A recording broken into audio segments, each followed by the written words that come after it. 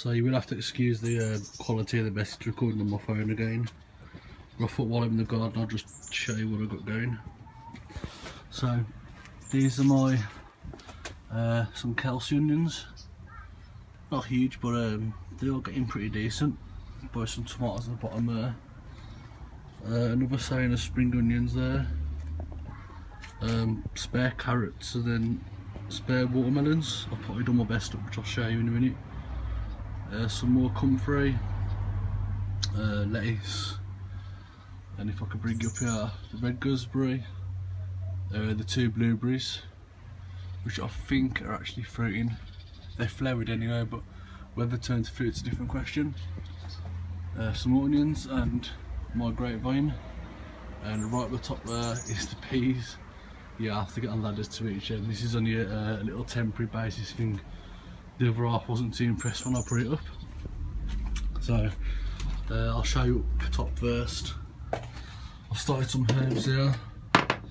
That's basil, uh, mint, and I think coriander, I'm sure it was. Yep. Still waiting on those. Uh, these were uncleared, 50p from the Verve the other day. And the only thing was that these are the water basically. Some of the leaves are a bit damaged they were all drooped over and really bad but then I seen the amount of flowers that they've actually got and I got them back basically submerged them in, um, submerged them in a tub of water and hey presto.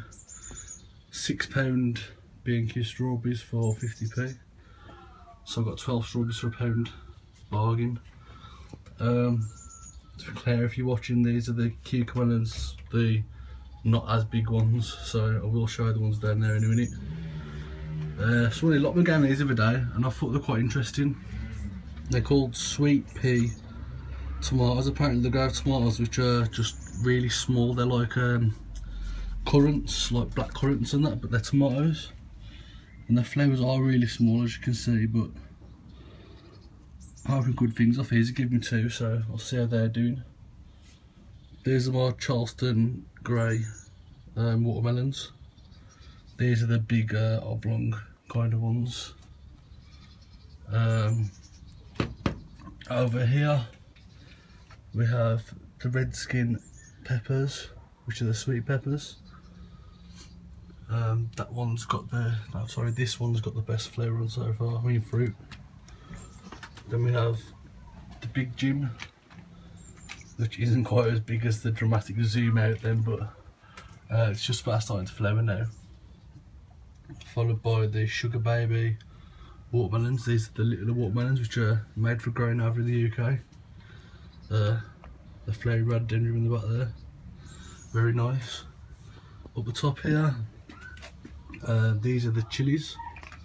The super hot F1. In the middle here is my Carolina Reaper.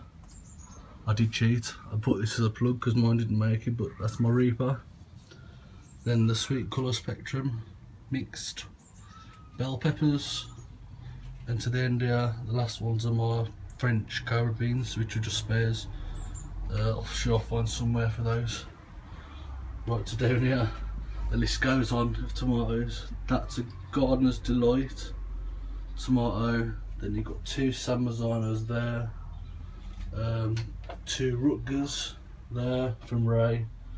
And that's a boxcar Willie uh, that's a money maker at the back there. Another Gardener's Delight there. Followed by uh, Rutgers, I think these, and then another Boxcar Willie there. My cucumber are doing terrible. They just seem to be stunted, they don't seem to be moving much. And then the last bits down here, uh, the chilies and peppers, just another mix. And then these are my cucumbers which are in the, the final pots.